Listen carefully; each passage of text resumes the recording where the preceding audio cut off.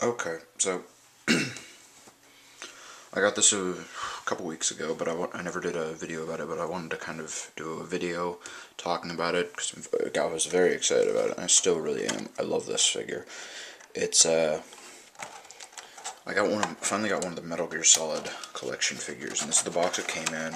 Uh, the back of the box, we've got Old Snake from Metal Gear Solid 4, Raiden from Metal Gear Solid 4, uh, Naked Snake from Metal Gear Solid 3, the boss from Metal Gear Solid 3, and Vamp from Metal Gear Solid 4. And Vamp was the one I got.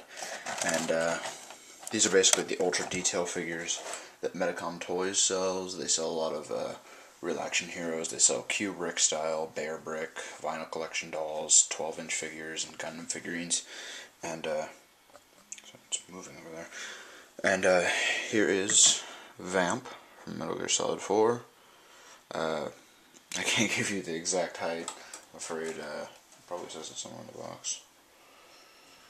I, am far too lazy, lazy to read all that since some of it isn't even in English.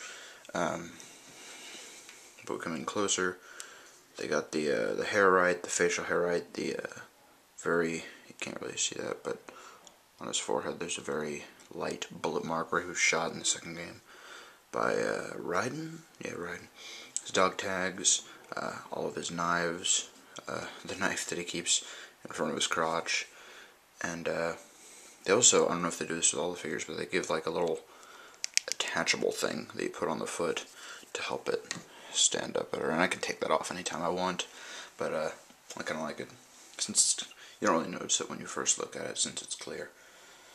Um, but that's the Vamp figurine.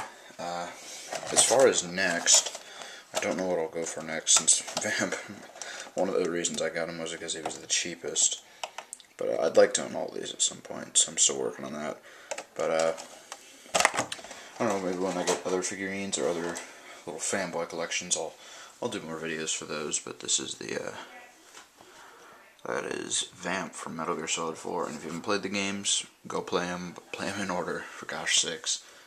Uh, but yeah, thank you for watching.